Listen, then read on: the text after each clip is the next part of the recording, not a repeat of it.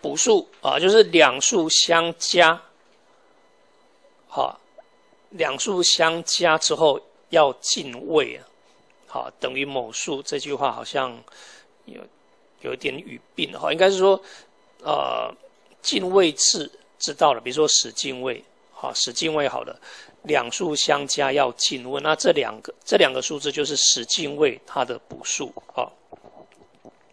比如说十进位里面呢，三加七要进位嘛，哈，那我们就可以说这个七呢，啊，它跟三啊，七是三的十补数，十进位补数，这样听得懂吗？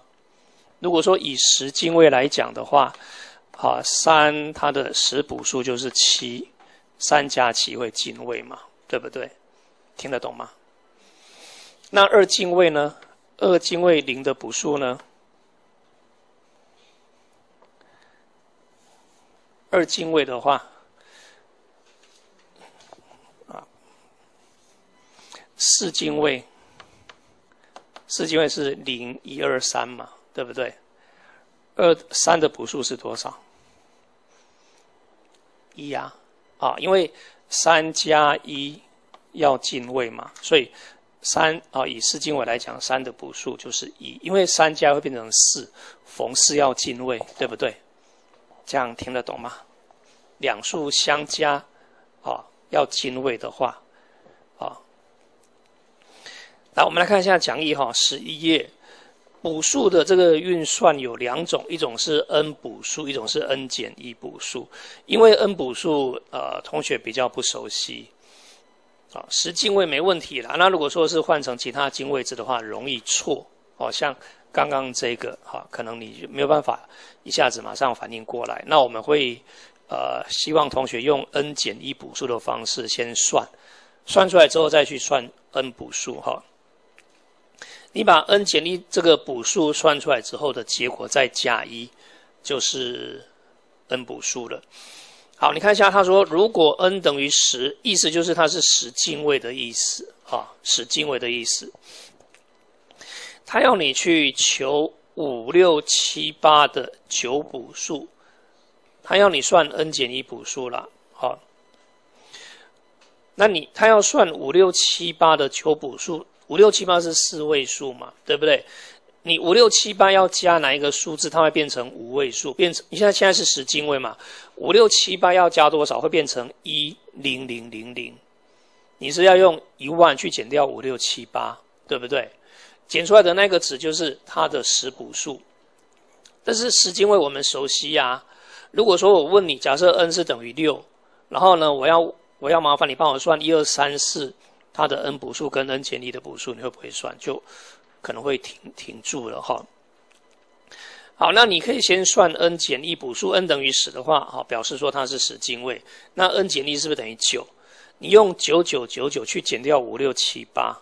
五六七八是四位数嘛？你就用四个九去减掉五六七八，答案是四三二一。这个就是五六七八它的 n 减一补数，这样听得懂吗？好，那你把四三二一再加上一，好，看一下十二页，你把四三二一再加上一变成四三二二，所以这个四三二二就是五六七八。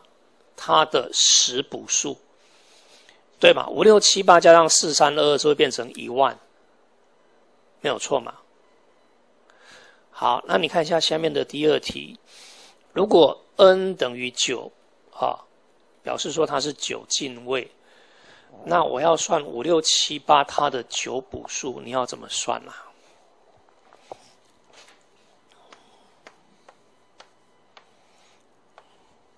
九进位哦，不是十进位哦，逢九要进位哦。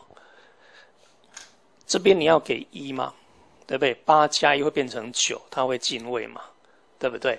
那这边要给多少？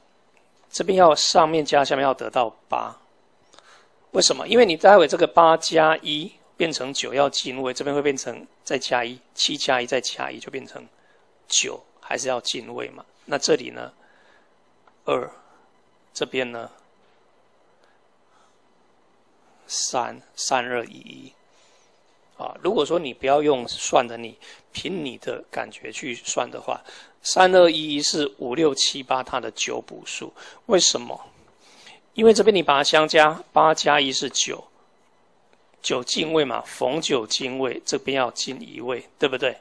七加一加一是九，逢九进位，六加一加二还是九，五加一加三还是九，再进一位就变成一。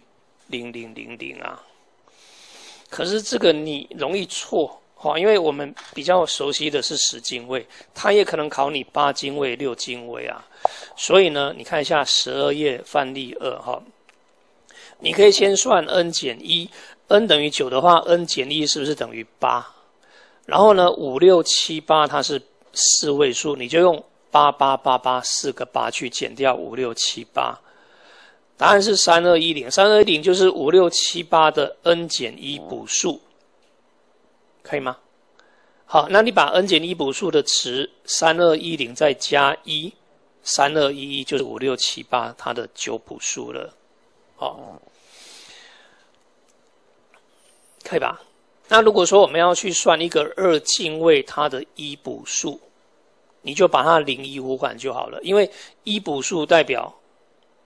逢一进位嘛，只要两个是一就进位了嘛，是不是零就变一，一就变零？哈，好，那我们再往下看哈，二进位整数表示法这边的二进位整数表示法是针对二进位的值，二进位的值哈。那一个数字的表示法，它有分三种哈，这边有三种，就是有。呃，牵扯到正负号，正负号哈，有三种表示法。第一个是符号大小表示法，这边麻烦你把它画一下线。在我二进位的这个数字啊，你把一个十进位的数字转成二进位之后，左边最左边给一个符号位元，第二行你把它画一下线。正的以零表示，负数则以一表示。所以呢，你看一下十三十进位它的这个符号大小表示法，先把十三转成二进位一一零一啊。假设这个你会转哈一一零一，那因为十三它是正的，对不对？所以呢，你要在左边再给一个符号位元给零。那如果说是负十三的话，你就给一。我这边我用粗体字来表示，有没有？代表说啊，符号位元。代表你原来的这个值是正的或者是负的哈，可是这边有一个问题就是，呃，如果说你的这个值是零零跟一零，它分别代表正零跟负零，有没有？啊，十进位的零写成二进位还是零嘛？那可能会有你会看到零零或者是一零这两种值，但是零哦没有正负号啊。所以这个符号大小表示法比较少用，好。第二个十三页一补数表示法，哈，二进位一补数表示法。如果说你原先的值是正的，那这边的表示法，这三种表示法的答案都一样。好，原先的值如果是正，比如说我的值是正是三，好。那么它的符号大小表示法是不是零一一零一？在十三页上面那边的范例，哈，正十三是零一一零一。那符号大小表示法的话，是最左边的符号位元给零嘛？负十三的话是给一，对不对？变成一一一零一嘛？是不是？那这里麻烦你把它画一下线，哈。十三页的第二行后面出体字。若数值为负的，则对该负数对应的正数取一补数，什么意思？原来正是三，啊，是三的话是一一零一。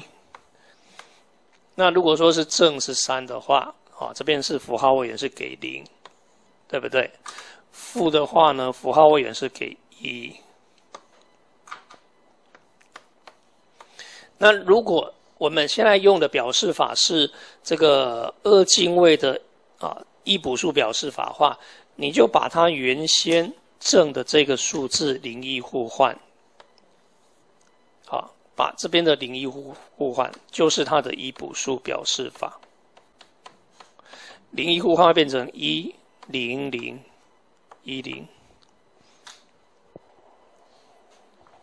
有没有？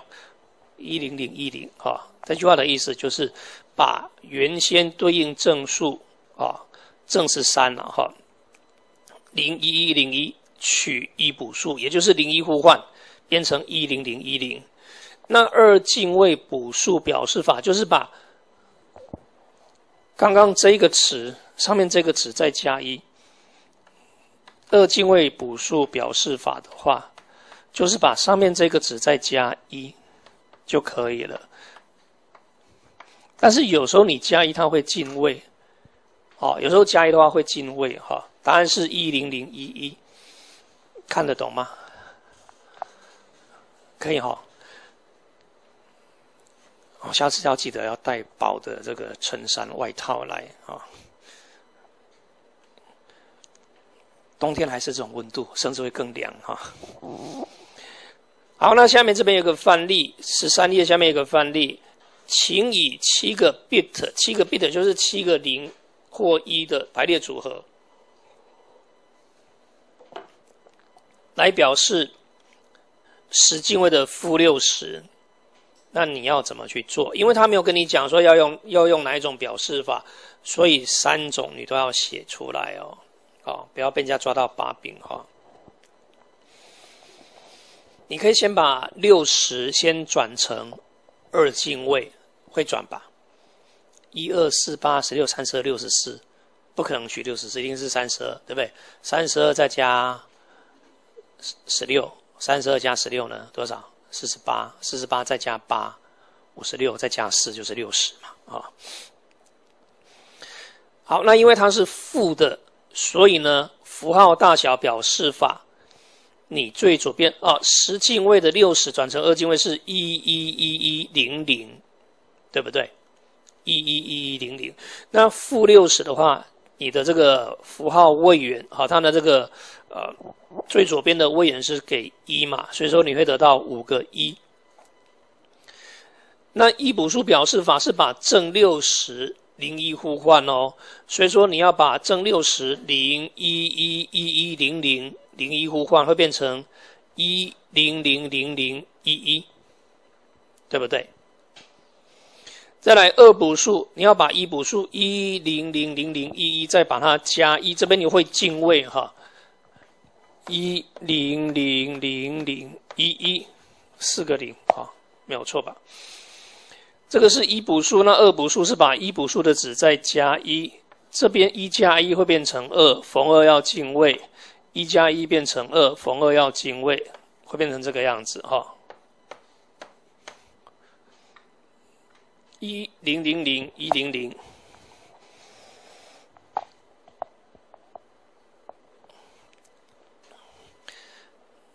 到这边有没有问题？没有哈，好。接下来翻到十四页。十四页这边有个呃二进位整数表示法的这个，它可以表示的值的范围哈。这个过去考试啊出出过好几次哈。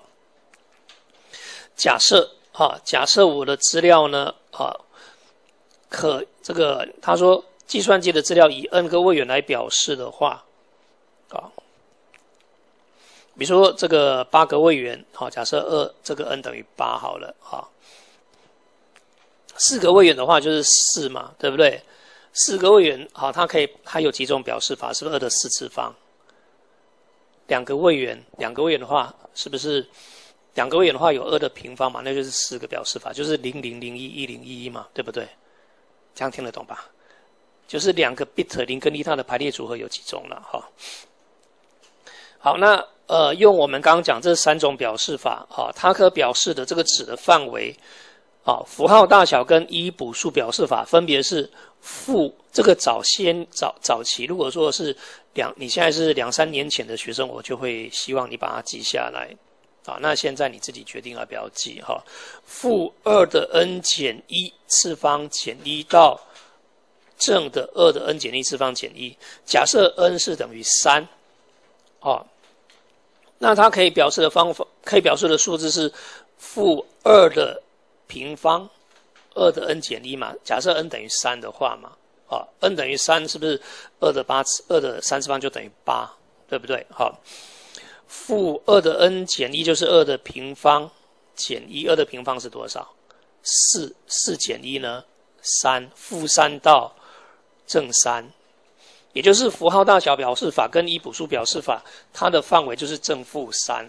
假设 n 是等于三的话，如果 n 等于三的话，好，二的三次方等于八，表示说我可以表示八种数字嘛，对不对？那这个。呃，符号大小表示法跟这个一补数表示法，它可以表示的值范围是二的 n 减一减一，一直到二的 n 减一减一，也就是负三到正三，其中会有正负零，总共有八个数字啊。好，它会有正负零、负三、负二、负一、负零、正零、一二三，好。那二进位，好，那个二的补数表示法打勾一下，它比较特别。二补数表示法它没有正负零零零视为正的，所以它的范围是负二的 n 减一次方到二的 n 减一次方减一。二的 n 减一是多少？假设 n 是等于三的话，是不是二的平方？所以说它是负四到正三。负的是负四、负三、负二、负一，那正的话是零、一、二、三，哦，还是八个数字嘛？哦，你可以假设 n 等于三的话了，哦。过去曾经要要由你要你写出来哦，哦，比如说假设 n 等于八，那它可以表示的范围从哪里到哪里？哦，那 n 也可能会给你一个很大的数字，你不用把它算出来，你可以把它带进去，n 用它给你的数字，比如说 n 等于十，你就写负二的十减一，或是负二的九减一。到正的二的这个九减一啊，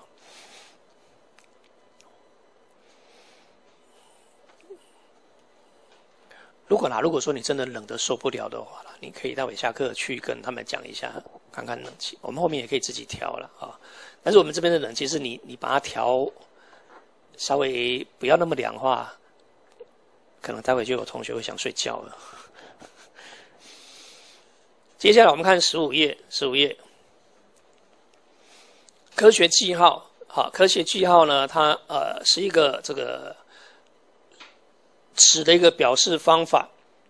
那么这个科学记号就是它的整数部分只留一位，整数部分只留一位。好，你看一下这边的范例，七八二三零零可以写成七点八二三乘以十的五次方，啊，零点零零零一二可以乘写成一点二乘以。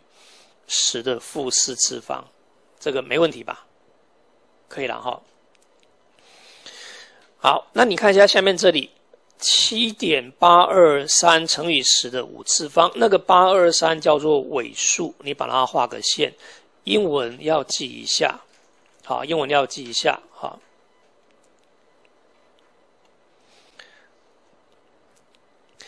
五称为指数，exponent。那再来，呃，我们在电脑里面呢，啊，你在输出的时候，啊，你用你在写程式，你在输出的时候，你可能会看到下面这种输出的方式：大一跟小一，字母的一，大一是十的正的次方，小一是十的负次方。好，七点八二三一五，好，你可以后面你可以把它写下，就是七点八二三乘以十的五次方，一点二小一，啊，然后减四。就是一点二乘以十的负四次方的意思，哈。这是呃，你在写程式的时候啊，它的输出有时候你会看到这种输出的方式，哈。那接下来这个浮点数表示法要小心啊，要小心哈。第一行你把它画个线，它跟上面的这个科学记号类似，但是呢，它是二进位，二进位，好，浮点数表示法，也就是你要先把十进位转成二进位之后，再来你把你的整数部分只留一位，这个就是浮点数表示法。好，下面这边有几个范例，应该同学应该看得懂才对，好。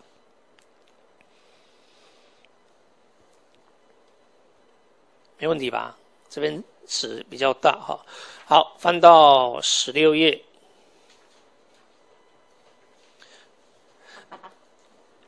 正规化啊，正规化的意思是呃，就是我们刚刚讲的了啊，整数部分是一点多少？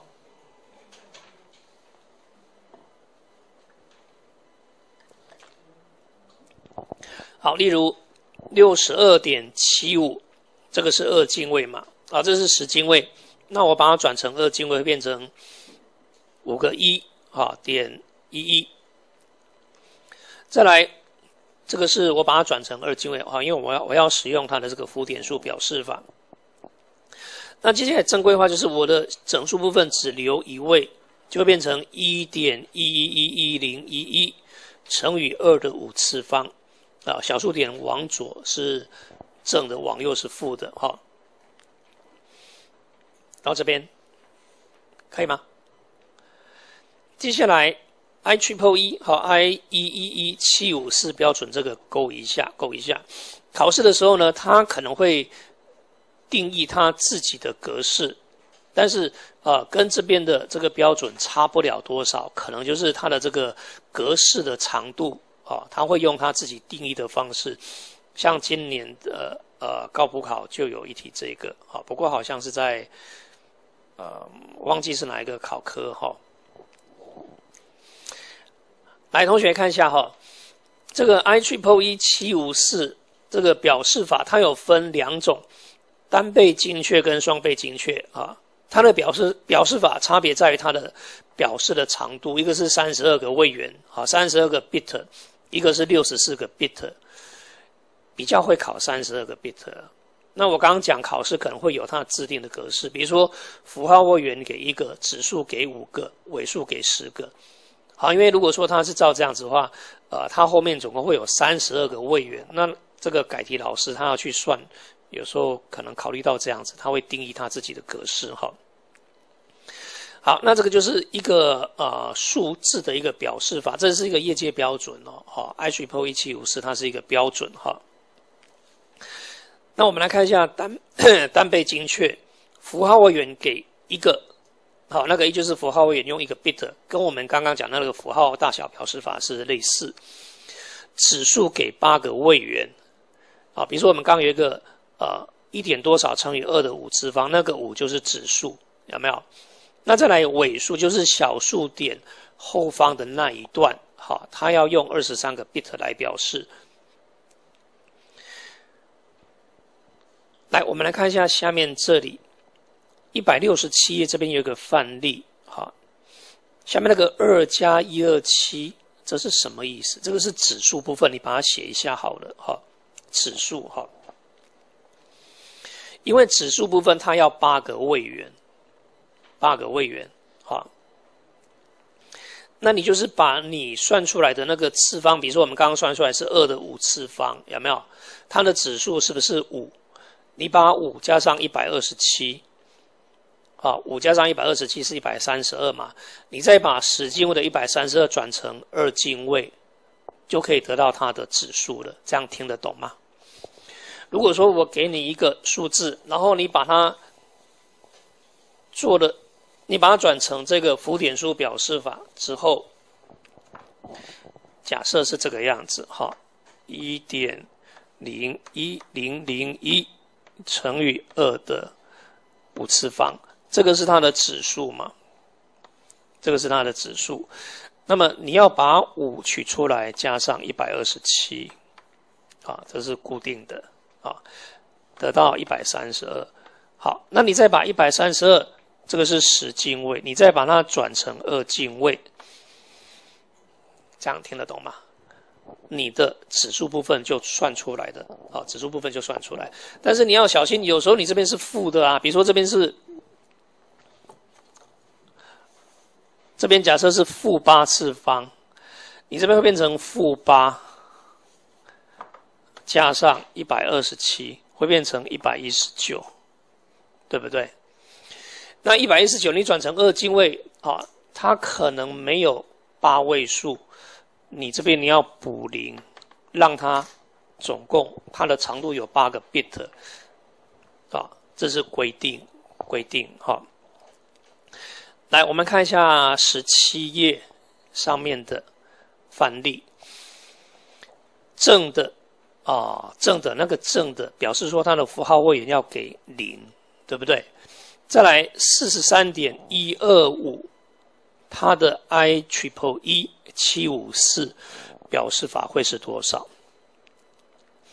第一个，你要先把四十三点一二五转成二进位，会转吧？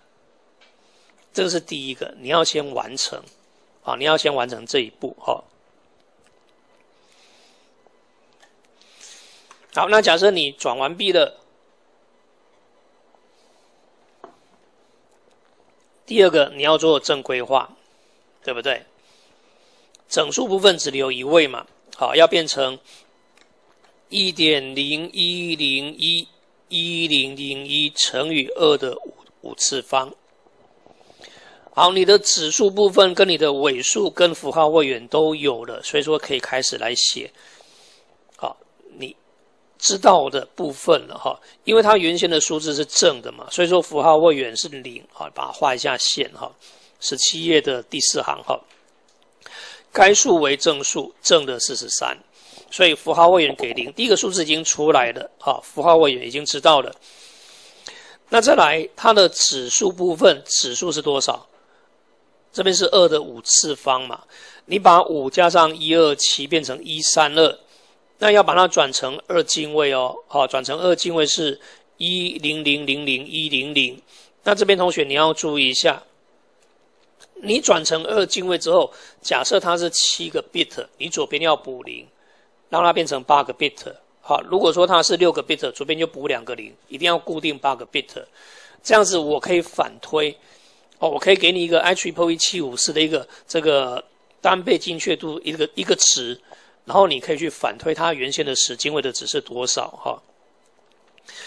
那这个呃指数部分知道之后，你就把它写出来啊，因为第一个 bit 符号位元。你可以把下面那个答案，你可以自己画线把它框起来哈。第一个符号位元是零嘛，然后第二个五加一二七是一三二，一三二十进位转成二进位是一零零零零一零零，对不对？符号位元知道了，然后它的指数部分是一零零零一零零，对不对？一一二三四。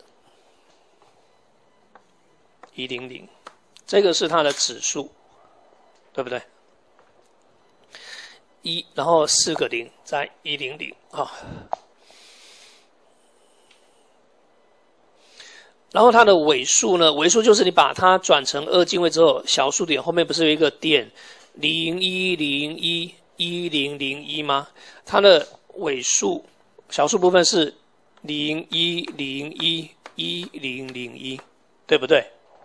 如果说我没有看错的话，它的小数部分是零一零一一零零一嘛？可是这里只有几个位元，一二三四五六七八，这边只有八个 bit，它的尾数要二十三个 bit，也就是这边你要再把它补十五个零哦，让它变成二十三个 bit，后面要补十五个零啊，也就是它的长度一定是。三十二个位元，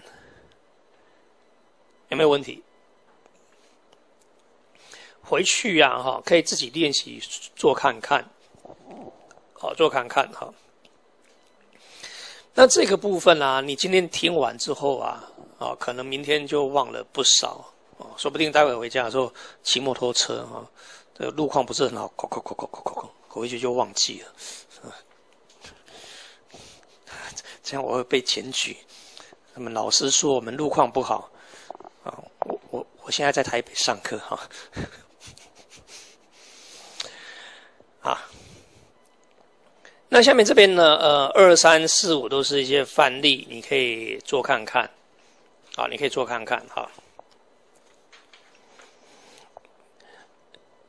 接下来翻到十八页，十八页的上面那个 I triple 一七五四单倍精确度的这个范围，这个参考一下就可以了啊，可以不用去记。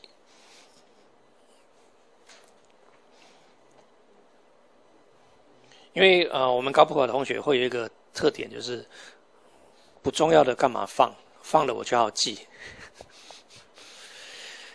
参考一下啦，哈，有些东西不是说放上去你一定要呃全部都收，不一定了哈，你自己决定嘛。啊，如果说因为每个人的有些同学是可能呃去年底，好，或者说今年初开始准备，有些同学是现在啊才开始要准备，那不一样啊，哈，每个人的这个起跑点不太一样。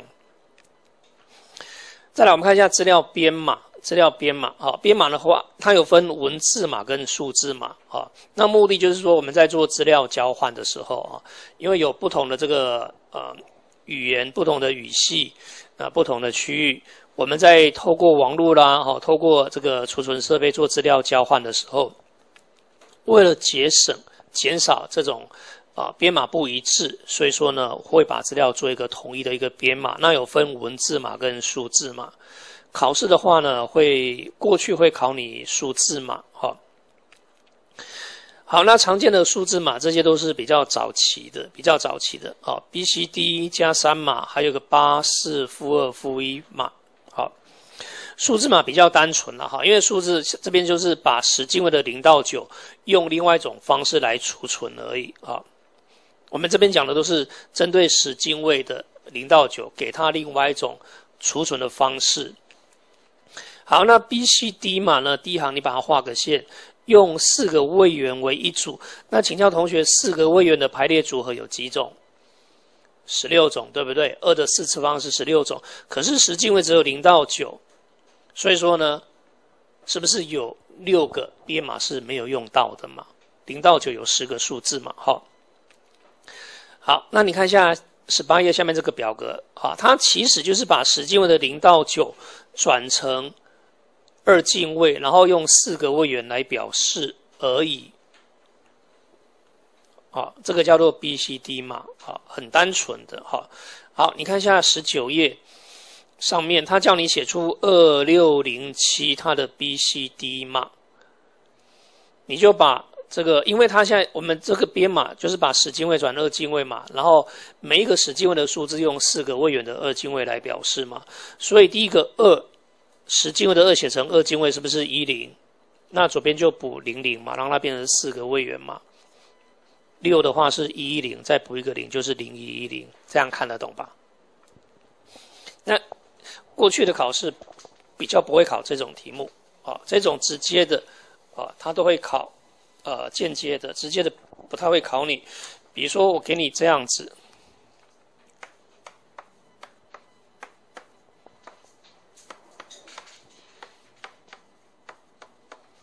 啊，可能会这样子考你，或者是给你一个八进位，或者给你一个十六进位的值，叫你写出它的 B、C、D 码。啊，那 B、C、D 码就是你要先把它转成十进位嘛，对不对？也就是你要把一一零一零一一先转成十进位，转成十进位之后，假设它是三位数，你再把三位数的每一个值转成二进位值就可以了。啊，或者是它也可能可能给你。比如说这个一六七，然后下标八，这样你写出它的 B、C、D 码啊，你就把它转成十进位，再看一下它十进位的数字转转成二进位是多少就可以。那其实二进位转 B、C、D 没那么麻烦了啊。好，接下来加三码。加三码就是把 B、C、D 编码的每一个值加三，啊，加三码。B、C、D 是从把十进位的零到九用二进位四个位元的二进位来表示。那也就是你把十进位的零到九每一个数字加三，它会变成从哪里到哪里？三到十二。好，也就是你要把三到十二分别转成四个位元的二进位的意思。好，十进位的零，它的加三嘛，实际就是把三转成二进位，是不是零零一一？十进位的九。它的加三嘛，你先把九加三嘛变成十二，十二转成四个位元的二进位是一一零零，就可以得到它的加三码的值。好，你看一下一零一一零一零啊，这个二进位的值要转成加三码，它的答案是，你可以先把它转成十进位，会变成九十。那九的，你可以把九先加三。对不对？变成十二，十二转成十进位是不是一一零零？那再来那个零加三会变成三，转成二进位是零零一一嘛？你再把这两个把它并在一起就是答案了，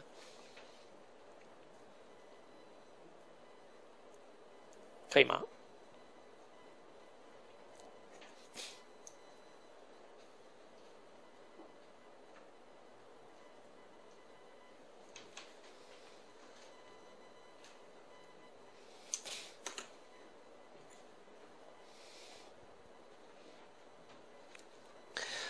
好，接下来八四负二负一嘛，八四负二负一嘛，就是呃，你去拼凑看它的那个数字，可以取八四负二负一的哪几个去拼凑出来，就可以得到那个数字。好，我们来看一下二十页的，他要你把十进位的五，它的八四负二负一。编码写出来，五会等于多少？八四负二负一是八加负二加负一，对不对？八加负二加负一得到五嘛？所以说那个八有取负二负一各取一个，四不取，对不对？它的系数你把系数取出来就是一零一一，可以吧？那七六，你要把七跟六拆开，你不要写七十六，七十六你可能你会不知道怎么去转啊。七跟六分别把它的八四负二负一把它取出来就可以了。七的话是八加负一，所以说是一零零一，对不对？那么六呢？六的话是八加负二嘛，对不对？八加负二，那就是一零一零，哦，答案就是一零零一，一零一零。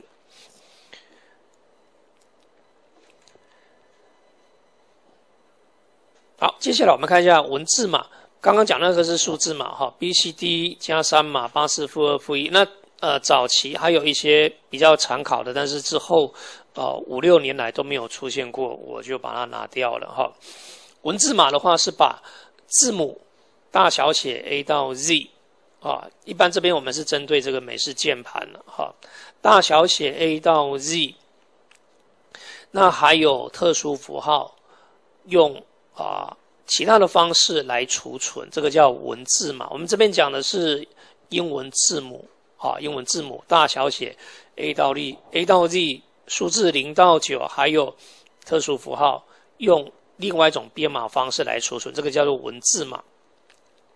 那这边有一个编码叫做 ASCII，A S C I I，ASCII，啊，ASCII，ASCII，哈，美国标准资料交换码。它是用七个位元来表示，二的七次方是一百二十八。哈，键盘够了，你的键盘按键没有这么多了。哈，从大小写 A 到 Z，数字零到九，还有特殊符号加起来没有一百二十八这么多个，所以说已经够了。哈，那同学你看一下二十一页。啊，我这边我有写在二十页的最下面这边。啊，建议同学将数字的。零大小写的 A，它的 ASCII 码记下来啊，也就是你看到字母零，实际上它的 ASCII 码是四十八，在二十一页上面那边有没有符号零？啊，零到九你可以输入数字，也可以输入文字啊。十进位四十八记下来，然后大写的 A，它的 ASCII 码就是它对应到的这个十进位的值是六十五，听得懂吗？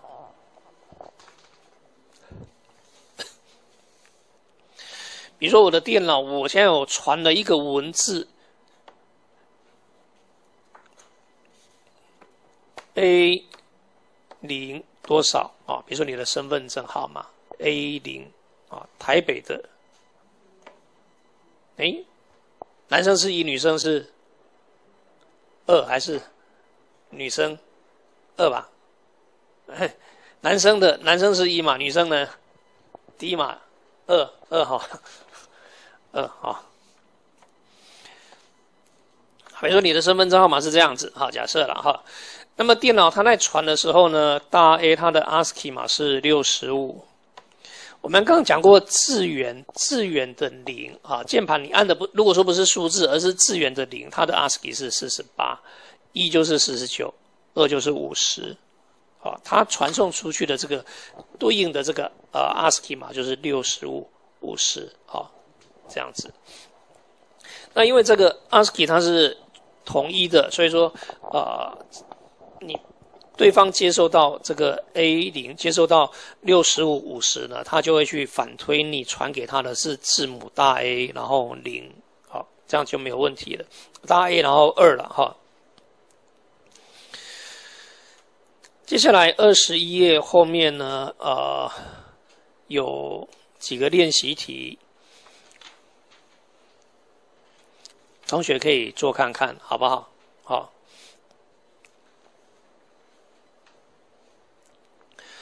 好，那我们第一个小单元，这个数字系统跟编码，就跟同学分享到这里。回去可以把比较早期的这个考古题拿出来做一下啊，每每个礼拜做一点点，慢慢的你就越做越多了。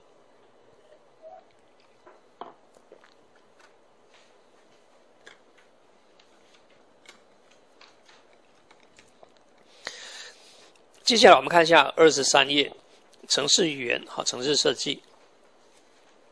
那城市设计我这边是用西语言来跟同学做分享。如果说你是呃考资讯类组的同学会上城市课程，啊，应该这边啊对你来讲是相对比较简单的。那如果说是统计类组的同学，嗯，自己斟酌啊，自己斟酌，因为在这几年，呃。城市的题型出现的几率就是比较少。好，如果说你觉得你准备城市这一块是很很吃力的话啦，你自己斟酌一下了啊。好，我们来看一下二十三页，城市语言的这个啊分类啊有分五代，啊第一代机器语言啊，机器语言只有啊电脑可以直接执行的。啊，不需要经过翻译的，粗体字可以看一下就可以了哈。然后第二代组合语言啊，同学你这边你把它写一下哈，就画一下线。第二代组合语言的最后一句话，呃，机器语言的话，就是我们在输入的时候就只有二进位零跟一啊。那你要完成一个很简单的一个指令，你要输入啊，你要输入的这个资料蛮多的。